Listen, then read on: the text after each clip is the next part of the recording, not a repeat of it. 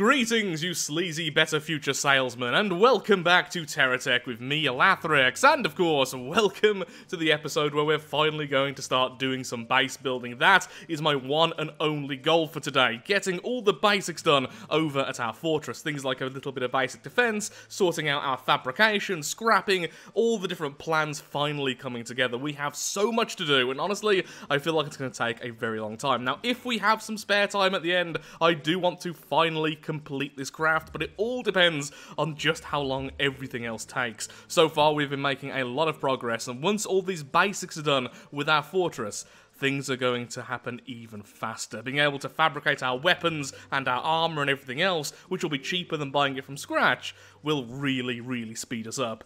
But first, there's going to be a lot of planning and a lot of basic building, two things which I am notoriously not the best at. Before any of that, though, what we need to do is sort out a few missions first. Things like Hawkeye and things like Geocorp. There's lots of weapons I want from Hawkeye still, and Geocorp I need the parts for the aircraft, in addition to just more money so we can start building the base.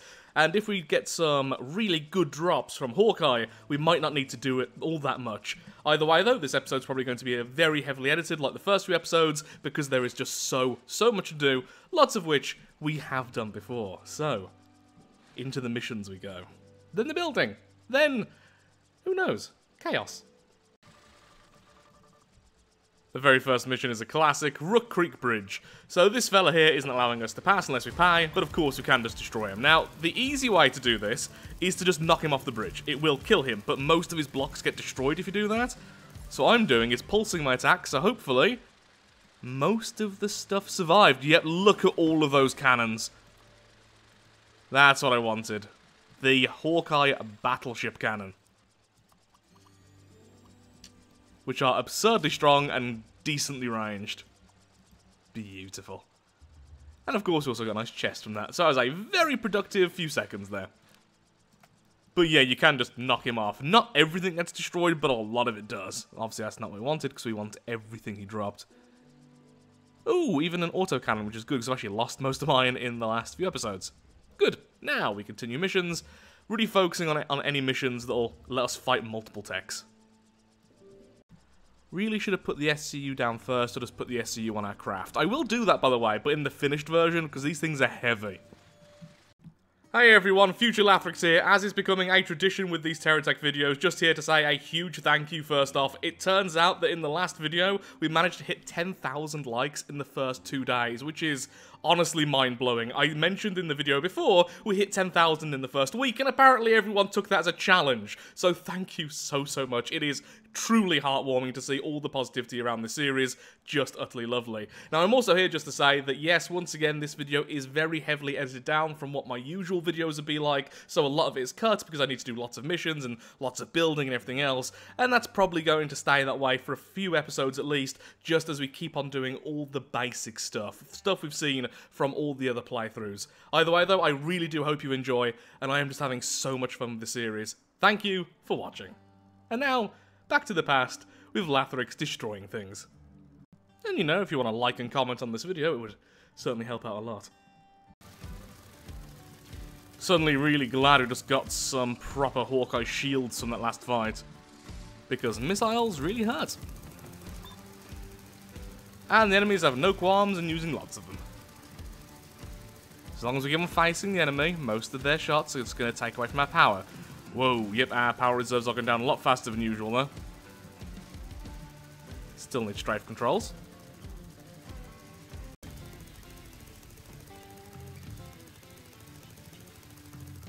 There's always one. There we go.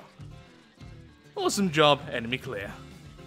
So that's two Hawkeye missions finished at one. Oh, never mind.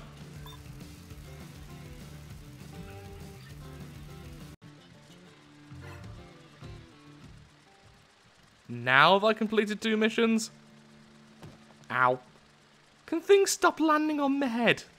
Just for once. So we got two of the scrappers.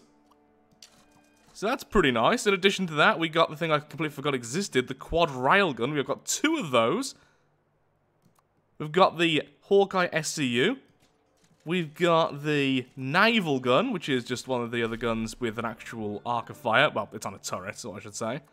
Hawkeye landing gear. Wow, we have got pretty much everything I wanted. Oh, I also forgot about those missiles. I made a weird noise. Missiles just make me happy. Well, that gave me almost everything I wanted in one very easy mission. The game is being kind today, which is making me very suspicious. Okay, I think we should probably then just do a few more Geocorp missions so I can get some of the stuff without having to buy it, and then go and start the base. There's not much else I really want to do. The scrapping section I want to be made out of Geocorp stuff anyway. Uh, the fortress itself is going to be mostly Hawkeye, but that's going to come later. And the landing strip is probably going to be a mix of everything. So we don't really need all the Hawkeye fortress stuff yet. And honestly, we're going to need so much of this. We need the payload terminal. So that's going to be when we finish off Hawkeye, so probably next episode. Okay, so I'm just going to go off and do some more Geocorp stuff. Can't wait to start building the base. really excited, actually. Sadly, you can't hurt the cube till you start the event, but apparently putting these cannons on a flying craft suddenly is very deadly. Look at the range on that thing. Yeah, I just added some more of the guns, um, added the cannons all to the front of this craft, so our DPS is now insanely high, so we can defeat the cube, and I'm just waiting until daytime so we can actually see what we're doing. I also had to add some extra fans to the front because, turns out, battleship cannons, pretty insanely heavy.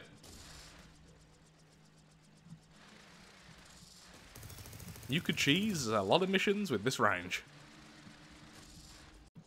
Having a nice chat with the Supreme Leader once again. The Almighty Cube is back and its blocks are bigger than ever. Twice as indestructible. Of course, at this point we're in a flying craft with cannons, whereas before we had just little kinetic weapons, but still, you know. Fair.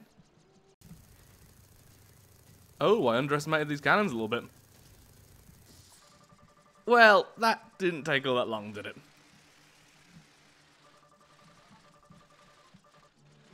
These punks I talked to on the phone said this time would be truly indestructible. I'll make sure you pay for the blocks you destroyed today. Oh, do most of them just leave this time? Only the real minions stayed to fight. Ah, so yeah, here's the problem with the cannons. Although they are amazing, they can't really aim, so I can't fire down with them. Thankfully, I do have six of those autocannons, so we're pretty alright. We have explosives for very difficult opponents, and autocannons for everything else. I think that'll probably be the end armament for this thing. By Almighty Cube, what do we get for this? We get... 8 parts and 10,000 block bucks.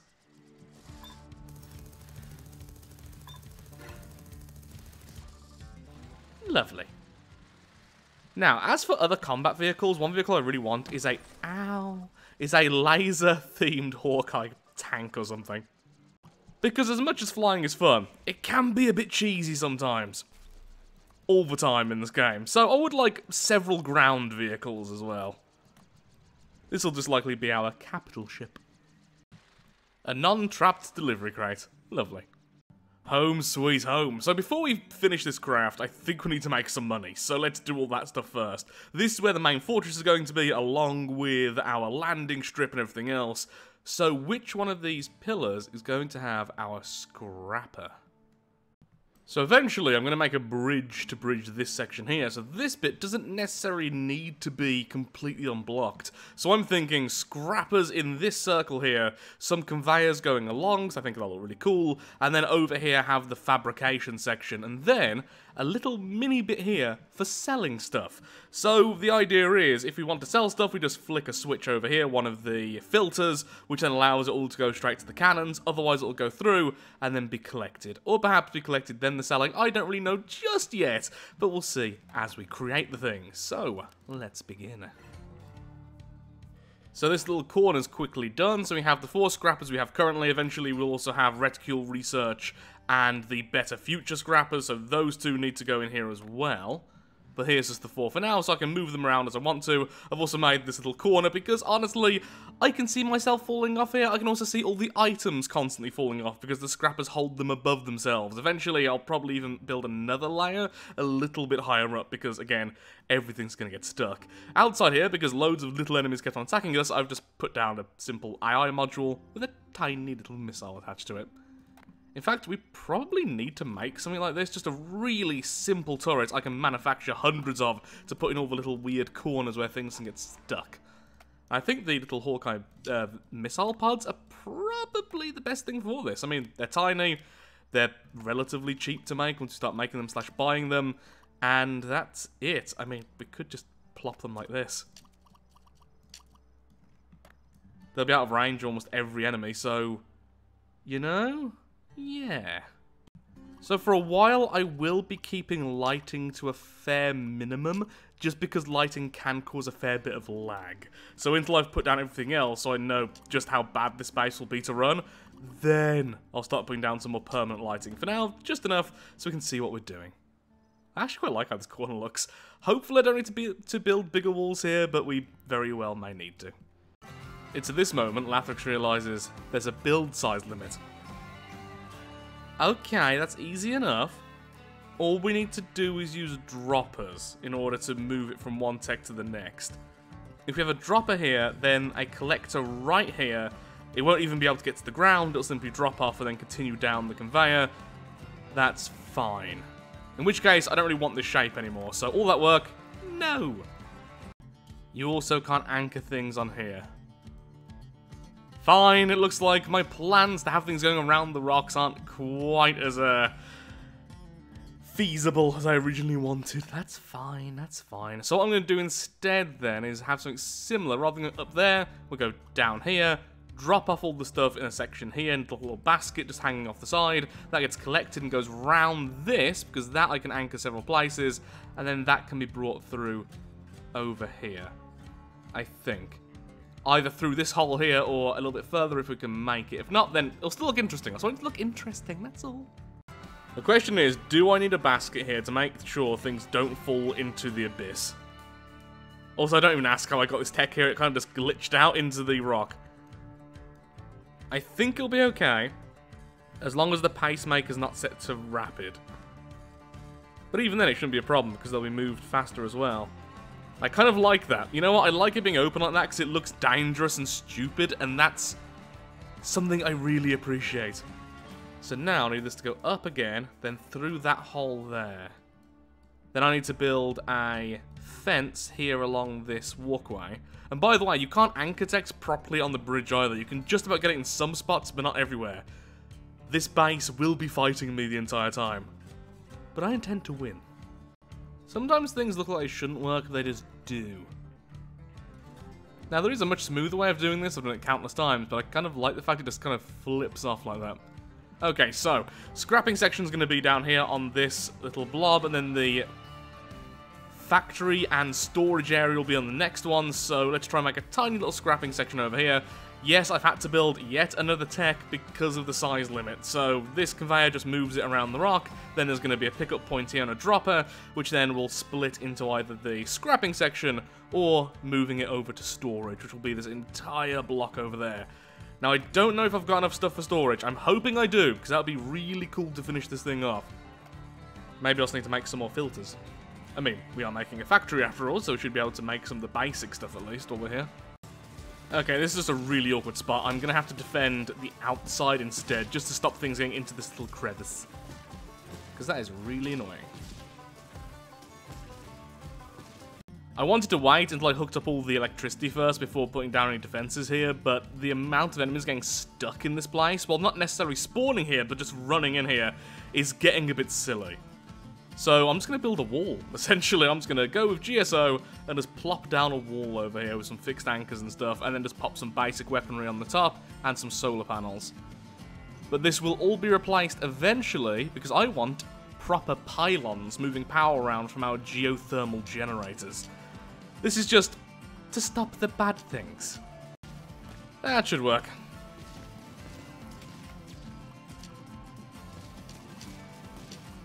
Now the issue is, as you can see here, if they sense an enemy is nearby, even if they obviously can't attack it, they will start just spam attacking. So, a little bit irritating.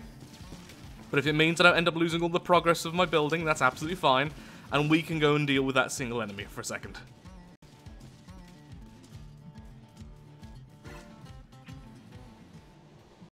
Now, there is the chance that things will spawn down in the ravine even here. I haven't seen that happen yet, but if they do, I will just put down a basic turret there as well. I'm not sure what the rules are with how close things can spawn near one of your techs. It seems like there is a bit of a defensive bubble around it, so I'm hoping that won't happen as I build here anyway.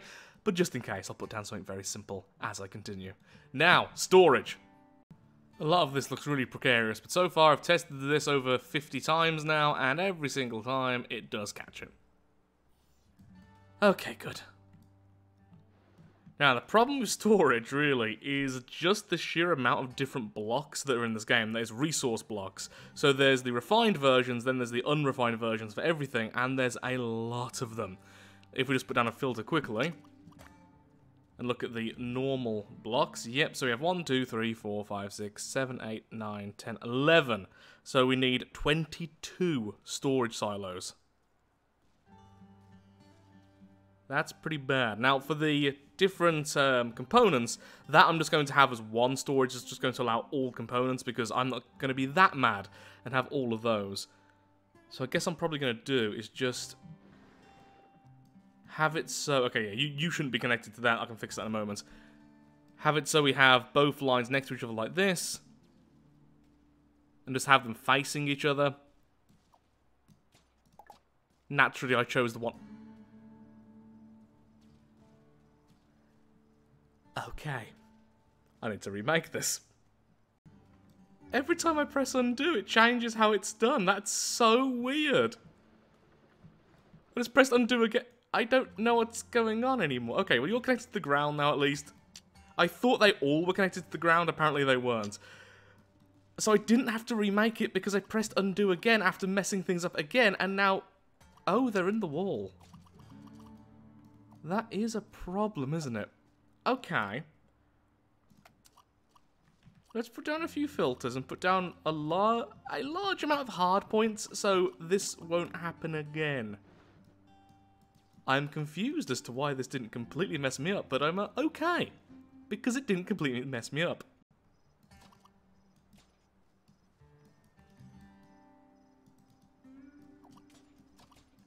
Okay, all out the stone.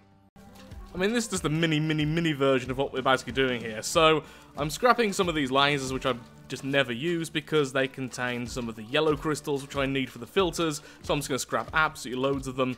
Then I'm going to scrap loads of things containing any of the Fibron chunks, essentially the wood blocks. It doesn't matter if they are the refined versions or not, because I have a refinery in the system. And then I'm just going to make loads and loads of the filters. Any of the excess I'll just sell off afterwards. I've just realised something. I didn't need to do all this.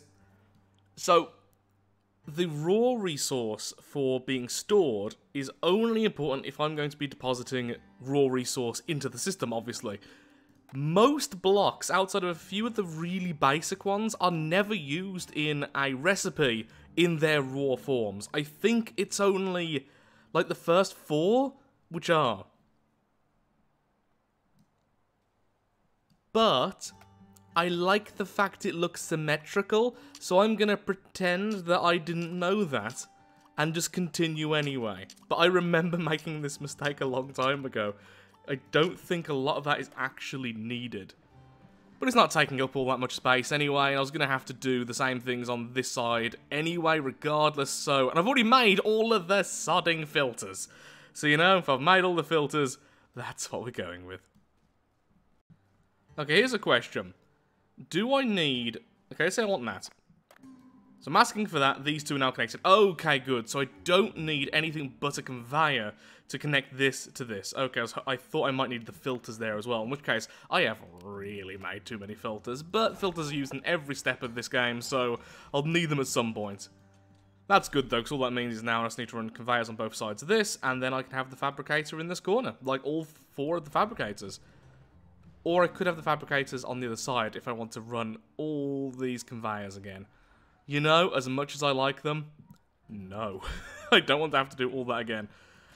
Or I could just have the fabricators here. Remember, the whole point of this base is that I, do, I want it to be accessible to a small tech I'm going to build soon, which will only have one purpose, which is to move around the base. Then, in terms of defense, I want lots of floating turrets, so we need more better future stuff. That's why I'm not going really heavy into turrets right now, because I want floating turrets like this everywhere, but we need a lot more stuff to make this happen, like more sky anchors and everything else.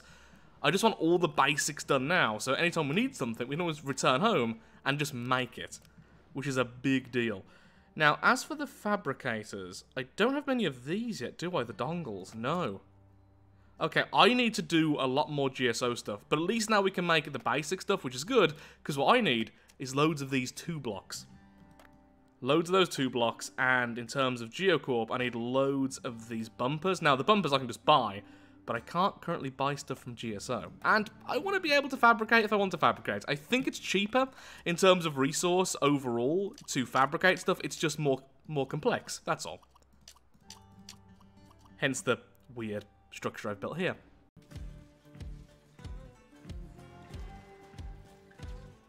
Excellent.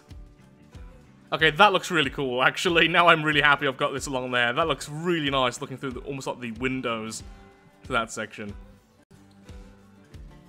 Oh god, with the pacemaker on it looks even worse. But so far, not one resource has actually dropped. I kind of want to just build a basket underneath for my own sanity, but I don't think I need it, really. I've also set up stuff for the components and an overflow, essentially. If all of these are full, simply scrap the stuff. I don't really want to store more than one of these lots of silos worth of anything. Okay, I'm going to scrap a few more things, just so this will look a little bit prettier.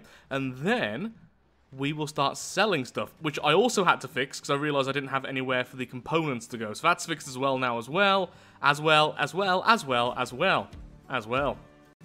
I forgot to turn on this. Wow. Our first proper mistake of the new build. It's very pretty, though. Don't think I want the fabricators here. It seems a bit cluttered with all the storage there as well, but at least we have it all connected. So if we wanted to now, we could start making some of the stuff, but of course we have a problem. We don't have a component factory attached to this. We also don't have a refinery, but I kind of want to keep it that way so we have the raw resources there and not constantly being used for everything else if I do want to make some of the more basic stuff for GSO, for instance. So the component factories are Something I literally don't have yet. So I think that'll be the next part of Crafty Business. That's when all the dongle stuff comes into play. That enables us to make the more complex components, which then allows us to make, you know, all the expensive stuff for each of these. So right now, I can only make the very, very basics. Now, I can make lots of them if I want to, but that's all I can make. So I need to do some more GSO stuff in order to get that. So that's actually what I'm going to do. The original plan was to finish off the aircraft, but honestly, this has taken way longer than I expected, and I don't want to rush that design, because it is something I want to keep permanently. So, for the rest of the episode, it's going to be loads of GSO missions in order to get all the dongles together and to get the fabricator, sorry, the component factories. That way, all of the basics are then complete. One mission done. Ow every single time it hits me.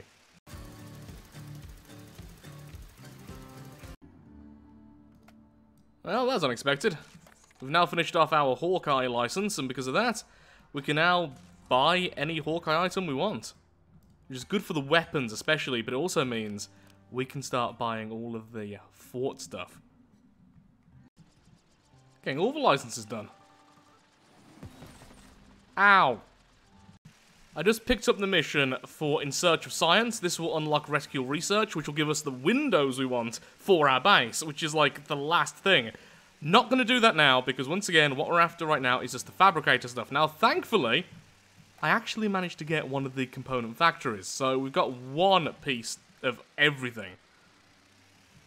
Still in the dongles. I haven't seen the craftier business pop up yet, which should give us this.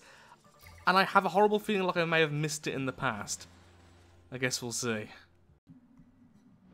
Of course, I could just fabricate the other dongles. There we go. One advanced. What do we have currently? We have the the complex.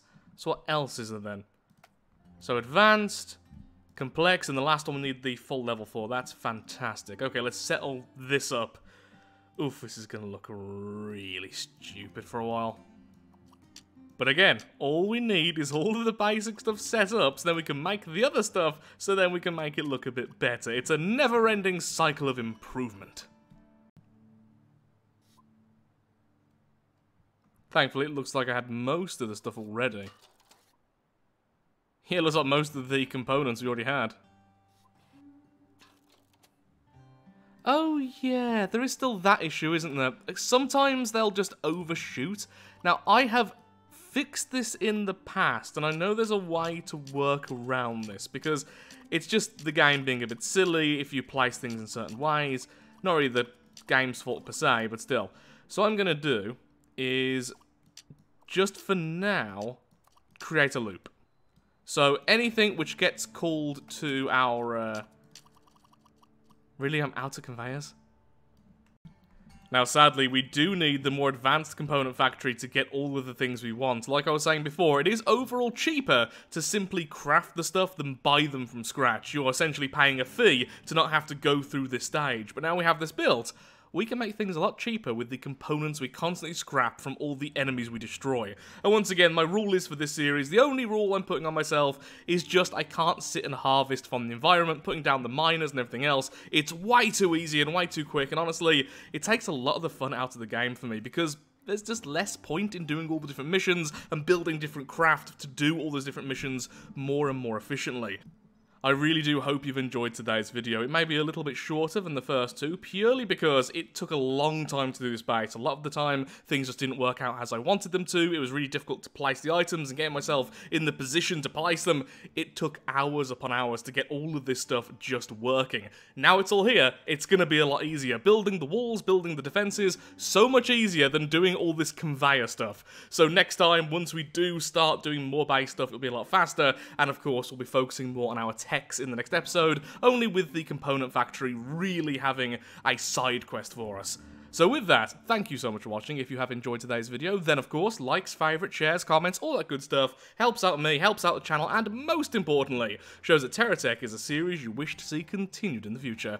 Again, thank you so much to all of the positivity towards this series. It has been heartwarming for a channel which has been pretty stagnant for a few years because I like to do things in my own way it is nice to see people still enjoy the games, which I really, really, truly love.